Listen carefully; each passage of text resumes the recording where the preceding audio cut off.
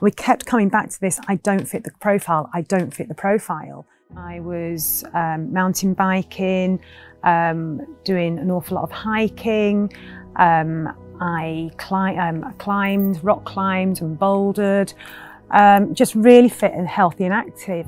My father-in-law did die of um, lung cancer um, nearly 11 years ago now.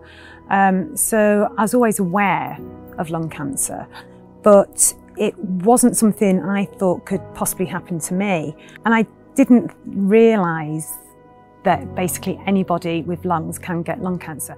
My symptoms started around about the time of the Queen's Jubilee in 2022.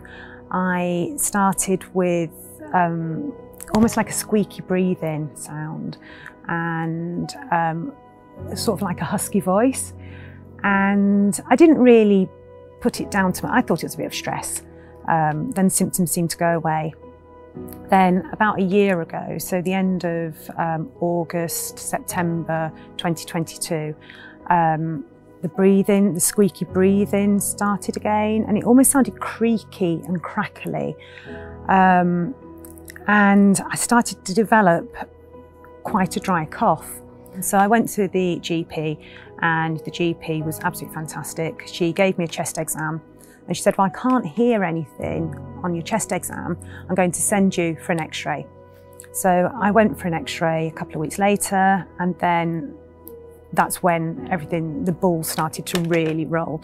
And they reassured me and they said, no, it's highly, highly unlikely to be lung cancer. You are not the traditional profile, if you like. You're not what we would expect um, from a lung cancer um, patient and um, it's highly likely to be infection. When I received the stage four diagnosis, it was as though my world had completely collapsed around me. Um, your, your, initial thought is, how long have I got? Um, and being a mum, you just think, who's going to look after my children? Who's going to look after my husband? Um, this isn't just my world that is completely being destroyed. It's my whole family. However, within that same phone call, it was my lovely lung nurse just said to me, she said, right, don't panic. My lung nurse um, said to me that I could have osimertinib, um, this amazing um, gene therapy drug that can actually extend your life and can pretty much mean that you can live a normal life.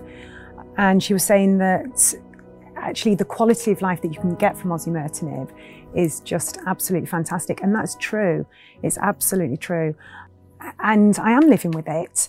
And I've been living with it now for nearly nine months. When you get that stage four diagnosis, you think you've only got a couple of weeks. You know, you think you, at the most you've got a couple of months. But the fact is that I'm living with this and my brain mets, we can't see them on the CT scans anymore.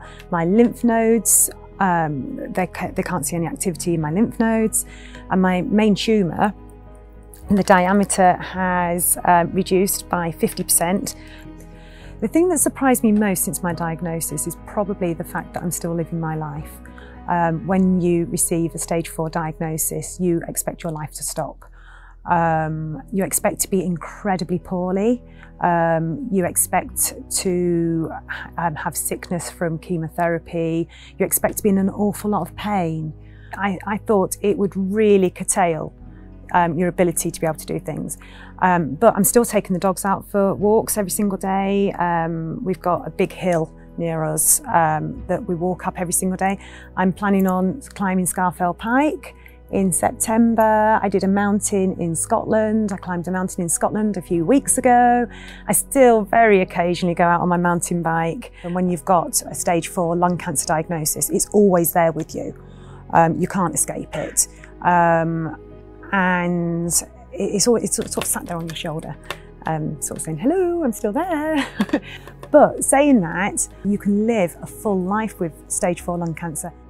I've got an I can attitude or you get to attitude rather than I have to attitude.